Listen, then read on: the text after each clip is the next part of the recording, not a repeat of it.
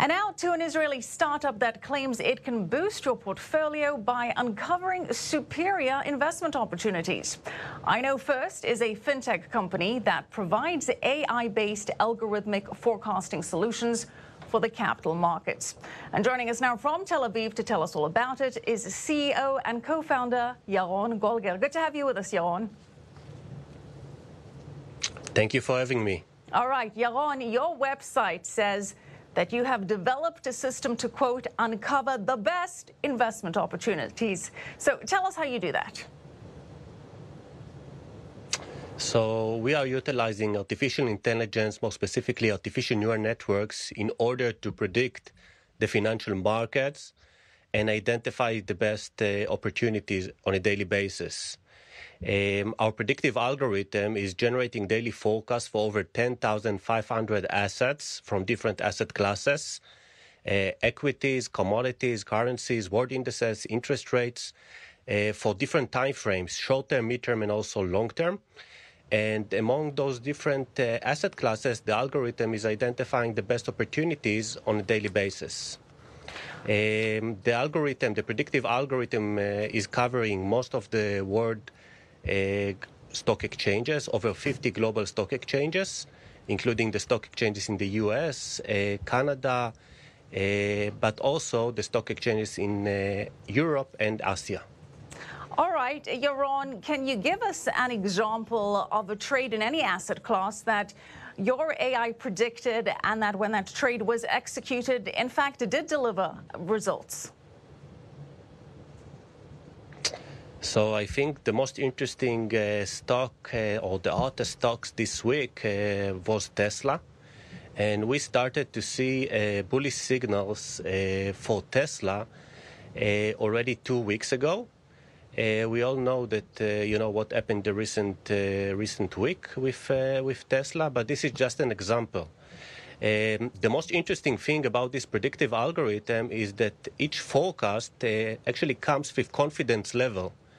Uh, in the financial markets, there are assets that are predictable and there are assets that are not predictable. Um, but uh, we managed to develop a predictive algorithm that providing the clients um, confidence level of each forecast. So every uh, user basically can focus on the most predictable assets on a daily basis in order to announce his own uh, portfolio. All right, so Yaron, let's go back to that Tesla example because the stock did have a major run up and then pretty significant drop afterwards. Tell us what your algorithm predicted and what it forecast in terms of the short term trade execution. So we started to see bullish uh, signals for uh, for Tesla um, two weeks ago. Um, after the major jump uh, um, this week, we started to see uh, actually negative signals for the short term. Um, while for the long term, we still see that this specific stock is might be interesting for one year from now, but for the short term, this stock is going to suffer from some volatility. Um, Tesla is just an example. Um, you know, the predictive algorithm is uh, generating daily forecast for over uh, 60 world indices every day, um, over 5,000 assets, mainly in the U.S. We are covering all the S&P 500 right. index, for for example. And so, so uh, every day there are different opportunities. So, so just to help our viewers understand, your algorithms identify an asset class right. and say now is the time to buy this. We predict a run up, for example.